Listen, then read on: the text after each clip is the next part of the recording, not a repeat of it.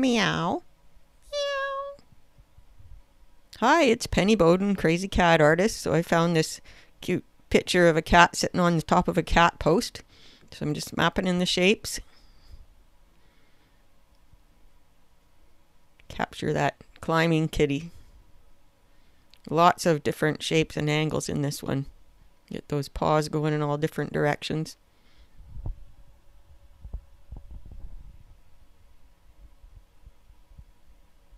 My head tilt on this one ended up a, to a more extreme than the one in the photo, but that's okay because cats can tilt their heads, right? Don't worry about it being exactly like the photo, just use the photo for inspiration, reference.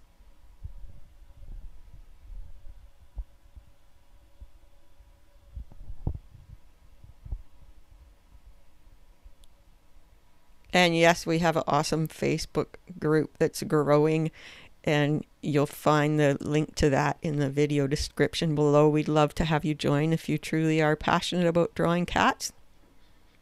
So check that out. And I love to hear from you about what you want to learn about cat drawing. So if you have a video idea, put video idea in capital letters in the comment and hopefully I'll find it easier that way and I'll do my best to get it on there if it's within my realm.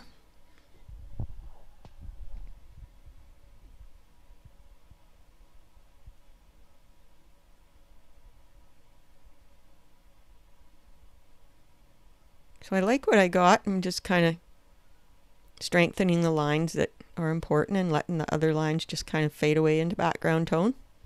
If it gets a little bit too messy, I get the eraser in there, but I don't do a whole lot of erasing. Erasers are handy though, they're great drawing tools too. Sometimes you need them.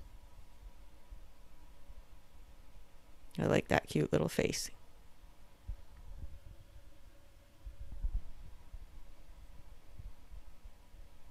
So now I'm really helping these important lines pop. Getting some eyes in there, bring some life to the kitty.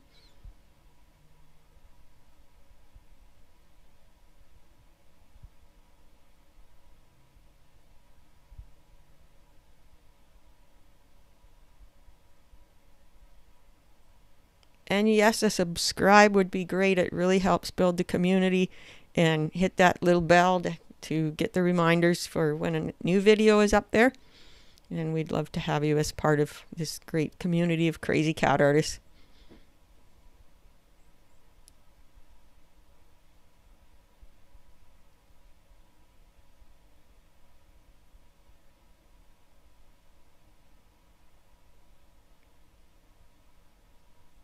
Speed it up there a little bit, get some markings in. I just give kind of suggestions of tabby markings. It's more about the position of the cat and the character than anything for me. And of course, everyone has their own style, so take what you learn from me and make it your own. Add your own flair too. That's what it's all about. It's your interpretation. Just be yourself more than anything. Get a suggestion of that rope on there that Kitty's scratching.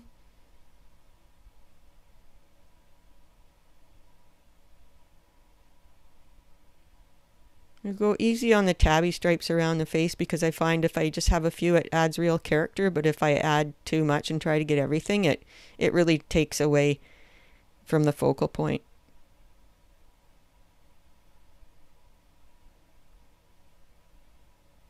Add a, add a little smirk there. I like that. I love smirks on my kitties. Make them look happy. And some whiskers. Thank you so much for watching, and we'll see you next time.